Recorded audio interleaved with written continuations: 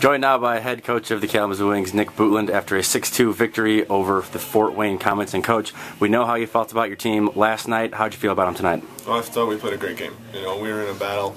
Um, you know, the score probably isn't relevant. You know, we, we played real well in a real sound game.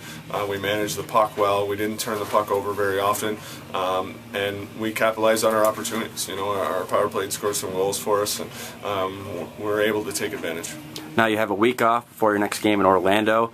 Do you think that's an advantage for you guys having that extra week of practice, or is it going to kill a little bit of momentum from tonight's game? No, I think we need to, uh, you know, tighten things up a little bit. So it's going to give us a real good opportunity to go over all our systems again, and you know, we're going to have a lot of practices this week, and um, you know, the off day Thursday will be a travel day, and then practice in Orlando on Friday. So there should be no excuse to be ready uh, for a very good uh, South Division opponent. Now tonight, a power play goal couple even strength goals, and even a shorthanded goal. Without answering, all goals are the same. Which do you like to see the most as a coach on the bench?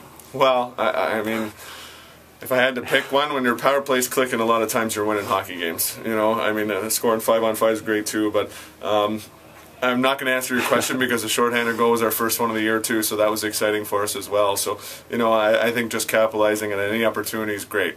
All right, thanks a lot, Coach.